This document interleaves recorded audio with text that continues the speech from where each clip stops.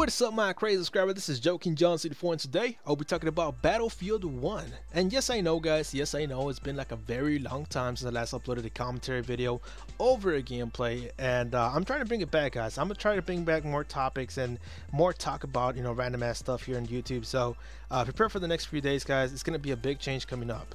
So anyways, moving on to the main topic of today, which is about Battlefield 1. Is it boring?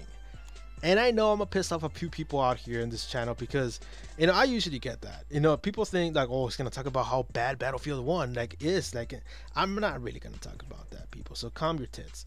So um, a lot of people on the internet. I've been reading through like you know YouTube videos about Battlefield One trailers and Facebook pages.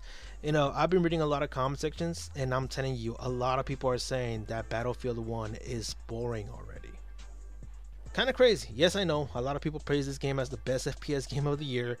And uh, what can I say about this? You know, as a guy who has been playing since the day of release, and every single day, you know, I've been I give it like an hour or two in the game, and I'm already like level 40 something. I think I'm on level like 40, level 47 right now, and I have had a lot of good gameplays.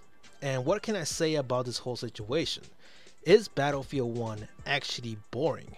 Well, my answer is depends on who you are to be honest. Like there are three types of gamer. There's the casual there's the competitive and there's the ignorant. Now the competitive one these kinds of gamers are the ones that really care about winning. They care about the weapons. They care about map spots. They care about the maps. They care you know about strategy and tactics. You know these are the ones that are really want to be winners and these are the ones that expect everything to be perfect. And i kind of fall into that category. You know i want every single win that I play in in Battlefield 1. And if I don't get a win, I'll be mad. But I still enjoy the shit out of the game.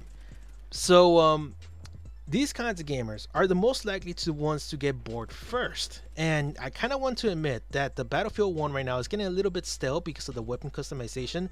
It's kind of worst compared to like uh, Battlefield 4. Battlefield 4, every single gun had like a lot of attachments, had a lot of sights. Like each gun had like around uh, a combination of like around six or more sights per weapon the hollow sight, the ACOG, uh, regular red dot sight, and you know there's there was different kind of sights.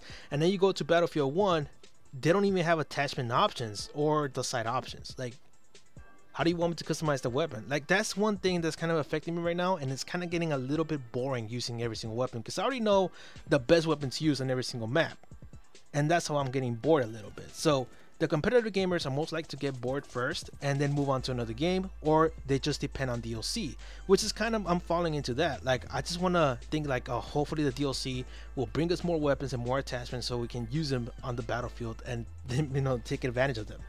And uh, that's kind of what we depend on, you know, the competitive players. We depend on DLC. So we usually last like, like around three months, and then if the DLC is not good, we move on. If the DLC is good, we stay in. So that's the competitive gamers. The casual gamers, they are mostly to last, you know, most likely to last like around six months or even more because all they care about is the fun factor. You know, they don't care about the weapons, they don't care about the maps, they don't care about map spots. All they care is about their crew, their clan, just making fun jokes, you know, trolling people, and they don't care. They just want to have fun. These are the people that usually last until next year.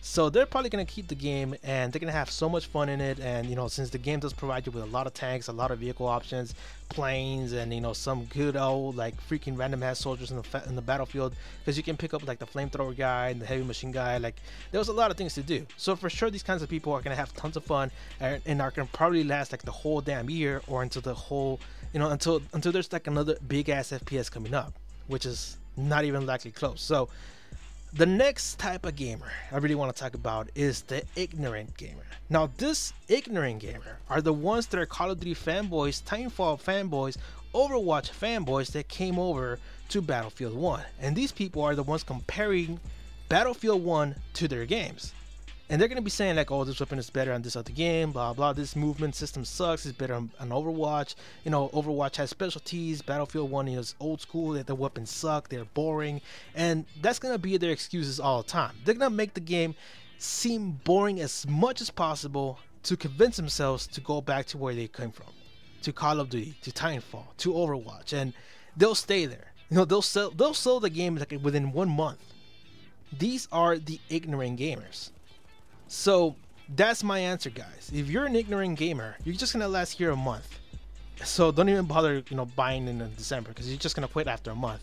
And the casual gamers are the ones that are to be lasting till next year, and then the competitive gamers are to last three months, and then depend on DLC. If the DLC is good, they'll last even longer. So that's my answer towards this whole situation. So that is it, guys. I want to talk about today. Hopefully, you guys like the topic. You guys got any questions? Leave in the comment section. I'll read them later.